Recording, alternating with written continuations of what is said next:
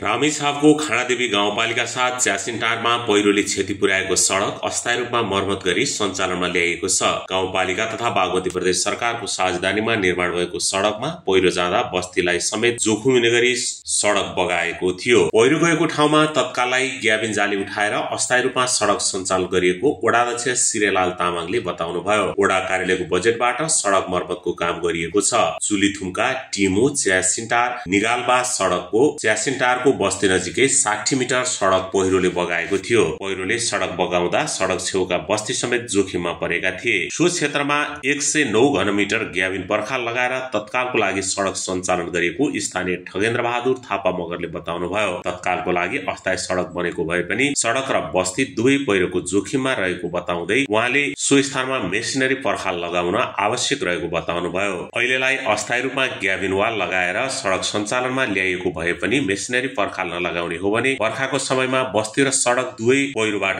खस्ने उहाँले बताउनुभयो। जाली भन्ने कामहरू भयो।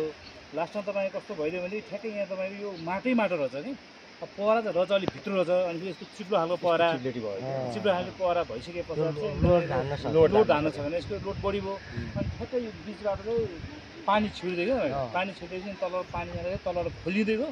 खोलिँदै ब्याङ्क त्यसपछि यो पल्टिएको त्यसपछि चाहिँ हामीले गाउँपालिका स्थानीय सरकारहरूको चाहिँ सबै प्राविधिक इन्जिनियर अब प्रमुख प्रमुख सबैलाई लगाएर यहाँ ल्याएर चाहिँ अनुगमन गर्नु लगाए अनुगमन गर्दै जाँदा प्रदेशको पैसा नै परेको थियो त्यही प्रदेशको पैसाले काम गरेको थियो। दुई दुई करोड बाटो के छ नाम?